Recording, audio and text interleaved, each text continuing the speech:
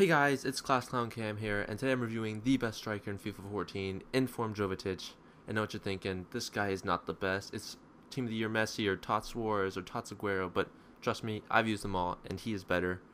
And um, I know everyone's going to ask, well, why is he better? And I honestly don't know. His in-game stats do not tell the whole story.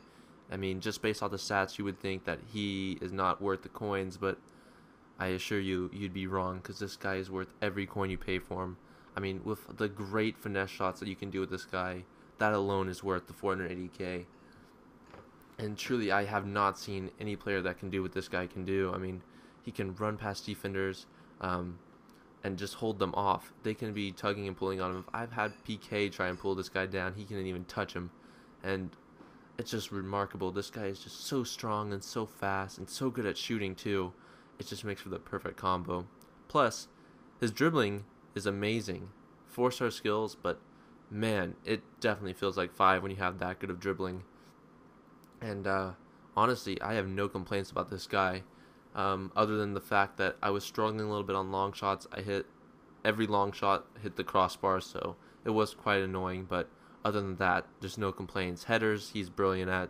Um, skill moves, brilliant. Uh, even he picked up one assist, so I wasn't expecting that at all for a player like him.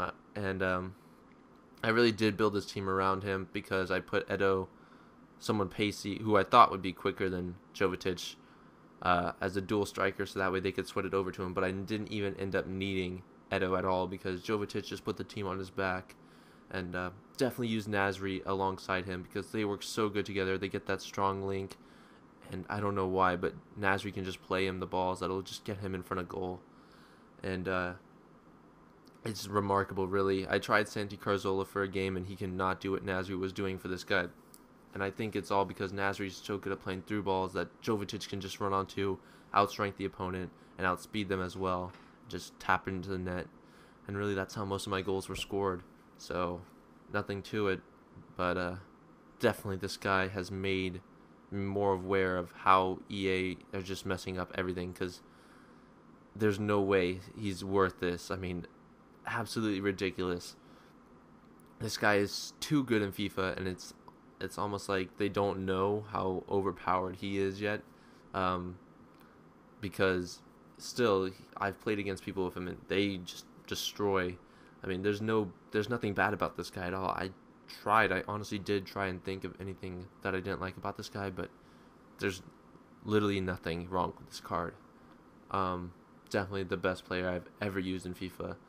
Um, and just brilliant, really. I don't know how else to describe him. I mean, I was expecting him to just be average, but really I was wrong, and I was so surprised.